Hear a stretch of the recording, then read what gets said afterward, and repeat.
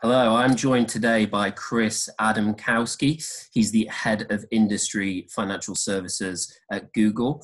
Uh, nice to be speaking to you today, Chris. How are you doing? I'm doing great. Thank you. Thanks for having me this morning, Tom. So, in these challenging times, uh, what do you see as the biggest risk and the biggest opportunity? Mm-hmm. Um, well, based on uh, based on what I do for a living, this probably won't surprise you. My answer probably won't surprise you, uh, and the answer to both is is digital, in my opinion, and in my experience. So the reason why I say that uh, digital is the biggest opportunity is because uh, right now you've got uh, a state where there's a lot of people who are feeling a little bit a little bit nervous about uh, the reality of the world, the you know the COVID epidemic, and uh, and uh, the resulting drop off in the economy. And what I've seen in my experience uh, very recently is, you know, I've heard it anecdotally said, four years of digital advancement in the last four months while we've been while we've been home, and resources being redeployed towards uh, building digital infrastructure, making systems run better, um, and, uh, I think this is good. I think this is what people should be doing uh, right now. Uh, I think that um, you know human nature can get in the way of digital a little bit uh, because digital does mean for a lot of a lot of firms that aren't digital natives, uh, it does mean different. It means change. It means risk. Uh, it means going away from something that you know has been tried and true and working for you for maybe you know maybe decades, maybe longer um, and trying something that uh, that isn't as proven, at least in the context of, of your individual firm. So, uh, you know, human nature is is about survival. It's about not sticking your neck out. It's about taking very calculated risk, minimizing risk. And digital might seem uh, a little bit uh, bigger than that, especially just you know beyond the toe dip that a lot of firms are generally just at right now. And uh, so I recognize by telling you this, I'm asking you to go against human nature by taking a, maybe a bigger step than what your uh, would be might necessarily be comfortable with. Uh, but now's the time, and that's that's the opportunity side. Uh, now's the time, I think, to invest in uh, a lot of these, you know, tools and infrastructure and uh, and transformation, frankly, because you know right now, I think expectations are a little bit lower for firms. I think we could safely say that. Some of the targets haven't gone away, but may have been softened in the current context. And you might have, uh, you might be in a position where you've got some resources that um, are underutilized uh, compared to what they may have been before this pandemic and to get the most out of those resources in a short period of time, hopefully a short period of time, uh, could be deploying those with a similar skill set required towards some digital projects that have been sitting on the shelf that you know you should probably get to, but you just haven't yet. From a risk perspective, it's that you know everyone else, not everyone else, but a lot of the other uh, companies that that I work with uh, are moving towards this right now with uh, with speed and uh, and intention and increasingly a, a great digital experience is the expectation uh, by your clients. Um, embracing digital. We all need to do it as you said although it's not always easy. Can you break down for us in a few sentences how to go about digitally transforming? So, so digital digital transformation is is quite a quite a broad um, catch-all basket for activity uh, I think you know when I think about that generally, digital transformation is moving um, moving antiquated not well antiquated might be a strong word but moving your you know more traditional business um, to a digital context but not just transforming it over in business as usual but now using digital tools.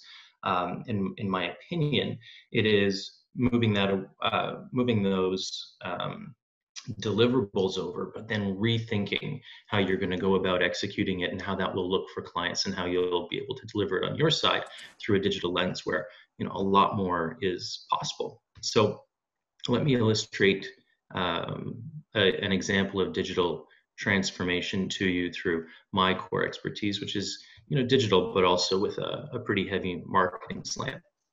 So when uh, when looking at digital marketing and then thinking pretty narrowly about the customer acquisition funnel. So new customer acquisition. There's a component of you know upper funnel upper funnel marketing awareness uh, that can be that, that can and should be digitized and what that looks like you know different from the way that it might have historically been done is now the expectation is to really get to know your audience and not just assume oh i might be after you know uh, wealthy clients wealthy clients like golf so golf sponsorship. Like that's that would be a um, i'm not and i'm not necessarily saying that that's wrong uh, in terms of an outcome but in terms of a process doing that digitally means doing a really deep evaluation of what your customers actually look like finding some common threads that might not be obvious within that audience and then uh, sussing out how you can bring that to life with um, uh, with a, a, a narrative uh, and a message and a positioning that will resonate with your clients uh, on a much deeper level, perhaps, than anything that you've done previously. So the expectation of that upper funnel is doing your due diligence that way. And then when it comes to execution, uh, getting you know really tailored about making sure that you know sometimes you might have a few different messages for a few custom audiences and making sure that those audiences see the message that really is customized to them and not waste a dollar elsewhere. So you know another way of thinking about this is you know the old saying that you know i know 50% of my advertising dollars are working um, or half of my advertising dollars are working. I just don't know which half. Well the expectation is that you do um, and that brings me to the second part. So that was the upper funnel, narrow messages, narrow targeting, very precise. And then you have to measure it. So measurement uh, to me in a, in a digital uh, capacity you know, doesn't mean just looking at the end report card and then saying, oh, looks like about half of it worked. Uh, it means building an attribution model uh, to see how every single dollar performed and where every client came from uh, through that upper part of the funnel. And then connecting that to the lower funnel. And the lower funnel, um, I would say that's the, the third of four parts that I'll talk about in this just narrow segment. Uh, the lower funnel is precision, um, understanding of what a great client looks like, and making sure you're uh, at the bottom of the funnel through acquisition, paying the right amount for those accounts or for those uh, for for that new business. And again doing that in a really you know, in a digital way that is very specific uh, and data driven finally you, you've talked about the need for businesses to be um, helpful and efficient during covid-19 what else do you think is important? Can you give attendees a snapshot of what you'll be speaking about um, later in the year in october um, at the IMpower platform First of all, Tom, thank you for reading my white papers. Uh, that's something that I that I have spoken about. Um, I don't think I would frame the question as uh, helpful and efficient. What else? Um, I think it would. I would frame it, uh, or I'd like to answer it as helpful and efficient. How else? Because I don't think that um, there's necessarily a whole bunch of other ways to think about it that can add incremental value as much as you know looking at these two elements and really going deep on them especially in the current context. Uh, from an efficiency perspective um, i mentioned this in, in, an earlier question but this is uh, this is a great opportunity right now to really get under the hood on how um, uh, how your business runs uh, digitally. So this could take a whole bunch of different uh, perspectives again to just narrow it down to one where I have um, some particular expertise. Uh, I've encouraged a lot of my clients over the last four months to take a really good look at their um, their performance acquisition, uh, new customer acquisition, and what we found are lots of cases where a certain budget was bringing in a great customer, so nobody was thinking twice about it. But uh, after a good look under the hood, what we found is that that same budget could actually deliver two great customers. And we're finding um, opportunities to just you know get into the weeds, turn the dials a little more than we would in like the fast and free growth times, uh, just to make sure that you know, what we're what we're executing on now gives us the full value possible. We're getting the most out of every uh, every dollar. Um, we do have a, a, saying in Canada that I think we just throw out uh, that I remember from even as a as a kid, and it was um, you know you don't want to be the slowest camper, and everyone just nods and knows what that means. But for your your audience, what what that really means is that um, if uh, if a bear uh, were to show up on a campsite, I haven't seen this in person, fortunately, uh, but if a bear were to show up in the campsite, the first thing you do is not run away, it's tie your shoes. Uh, and the reason why is that uh, you're not going to outrun the bear, but you don't have to. You only have to outrun the slowest camper.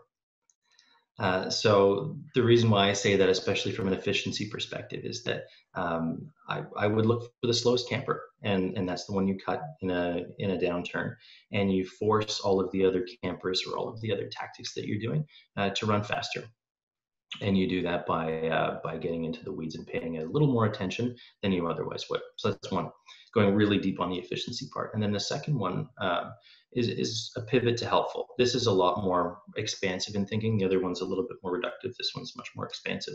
Uh, from a helpful perspective, I think there's lots of examples of of, uh, of clients that I've that I that I work with who are good at this now.